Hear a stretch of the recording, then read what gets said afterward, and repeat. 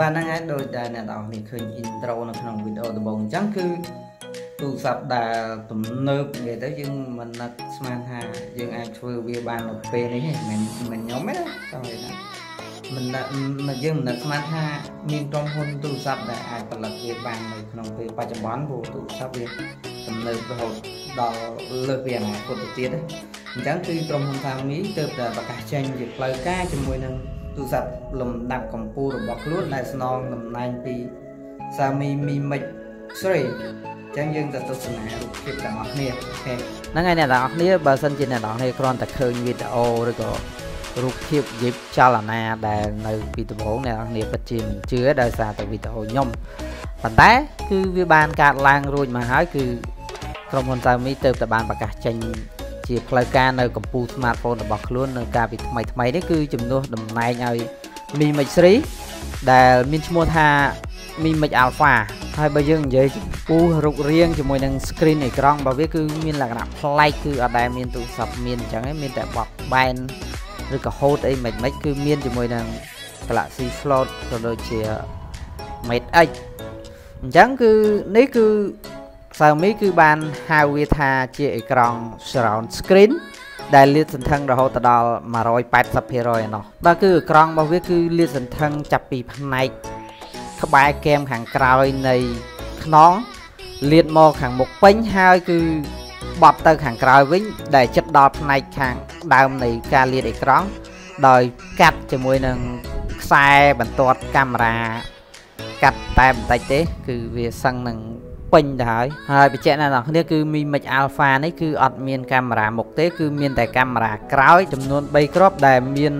108 megapixel ដែលជា sensor របស់ Samsung ដែលវាមានសមត្ថភាពអាចចាប់យករូបភាពនៅប្លង់ដែលខ្សោយពន្លឺ បានយ៉ាងល្អប៉ុន្តែបើយើងនិយាយពីក្នុងករណីនេះគឺវាអាចផលិតរូបភាពបានត្រឹមតែ27 megapixel តែប៉ុណ្ណោះហើយនឹងមានកាមេរ៉ា sensor ពីរគ្រាប់ផ្សេងទៀតដែលមួយមានទំហំ12 megapixel ហើយនឹងមួយទៀតគឺមានទំហំ20 megapixel ហើយបើយើងនិយាយពីកម្លាំងម៉ាស៊ីនវិញគឺកម្ពូល smartphone គឺយើងអាចនិយាយបានថាជាទូទៅហើយគឺកម្ពូល smartphone បំពាក់ជាមួយនឹងបន្ទះ chip ចុងក្រោយគឺ ជាមួយនឹង Snapdragon 855បូកដែលមាន RAM 12GB ហើយនឹងអង្គផ្ទុកទិន្នន័យ 512GB ហើយអត់មានជំរើសអីច្រើនទេគឺមានតែមួយជំរើសហ្នឹងទេហើយបញ្ជាក់បន្ថែមទៀតគឺអត់តន់អស់ទេអញ្ចឹងគឺ Mi Mix Alpha ប្រើប្រាស់ជាមួយនឹងប្រព័ន្ធ 5G បានហើយដែលមានថ្មទំហំ4050មីលីអាំពែម៉ោងហើយនឹងទ្រទ្រង់ទៅដល់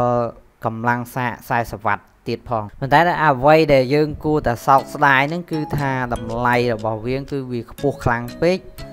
គឺ Xiaomi បានដាក់លក់អឺ Mi Mix Alpha នេះគឺក្នុងតម្លៃ2800ដុល្លារទៅហើយអញ្ចឹង smartphone នេះគឺអត់ស័ក្តិសមជាមួយនឹងអ្នកធម្មតាអ្នកដែលមានជីវភាព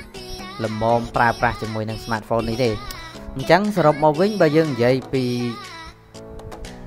លក្ខណៈពិសេសខ្លាំងជាងគេរបស់កពូ smartphone Xiaomi នេះគឺវាមានតែអេក្រង់ទេដែលមានលក្ខណៈសម្បត្តិនិយាយទៅវាលើសគេដែលអត់មានអ្នកណាមានខ្លាំងប៉ុន្តែចំពោះតម្លៃវិញគឺវាថ្លៃខ្ទង់ទៅដល់3000ដុល្លារទៅហើយអញ្ចឹងបើសិនជាអ្នកទាំងអស់គ្នាឬក៏ប្រិយមិត្តទាំងអស់គ្នាហ្នឹងគឺអាចមានលទ្ធភាពទិញវាក៏យើងទិញមកបើសិនជាអ្នកនរគ្នាចាប់អារម្មណ៍ទៅលើ បច្ចេកវិទ្យាថ្មីឬក៏រូបរាងថ្មីដែលអត់ទាន់មានហ្នឹងគឺយើងអាចទិញវាមកបានប៉ុន្តែចំពោះដែលអ្នកមានជីវភាពជីវភាពល្មមគឺយកល្អកុំអាលចាប់អារម្មណ៍ជាមួយវាដែរព្រោះថាយើងអាចមើលឃើញថាមួយឆ្នាំឬក៏វាអាចលឿនជាងនេះទៅទៀតប្រហែលជាមាន smartphone ដែលវាមានតម្លៃសមល្មមជាមួយនឹង បច្ចេកវិទ្យាហើយនឹងរូបរាងដែលប៉និតវានិយាយទៅវាវាលក្ខណៈថាដេញជើងគ្នាអញ្ចឹងណាអញ្ចឹងគឺវាអាចនឹងតម្លៃកាន់តែទាបបច្ចេកវិទ្យាកាន់តែខ្ពស់អញ្ចឹងយើងយើងរងចាំមើលបន្តទៀតបើសិនជាយើងអត់មានលទ្ធភាពនឹងទិញវាយកមកប្រើព្រោះថាតម្លៃវាអាចខ្ពស់ពេកអញ្ចឹង ជាចុងក្រោយអ្នកទាំងអស់គ្នាបើសិនជាចូលចិត្តវីដេអូមួយនេះកុំភ្លេចចុច Subscribe ហើយដាក់រូបកណ្ដឹងដើម្បីទទួលបាន notification រាល់ពេលដែលខ្ញុំអាប់ឡូតវីដេអូថ្មីហើយអត់ទាន់ចប់ទេអ្នកទាំងអស់គ្នានឹងទស្សនា trailer របស់ Xiaomi ជាបន្តទៀតនៅខាងចុងវីដេអូ okay bye bye អ្នកទាំងអស់គ្នា in a world of infinite possibilities. Where will your next adventure take you? Perhaps you find yourself taking your own path. You choose this path not because it will lead somewhere,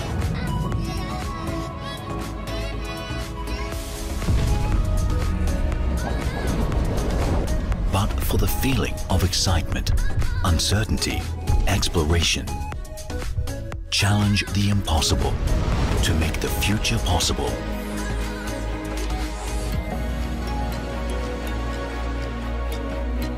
Introducing Mi Mix Alpha, surround display 5G concept smartphone. Delivering a true bezel-less experience with its 4D surrounding curved display.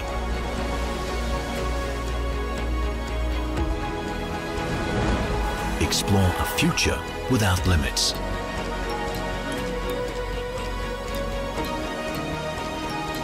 Mi Mix Alpha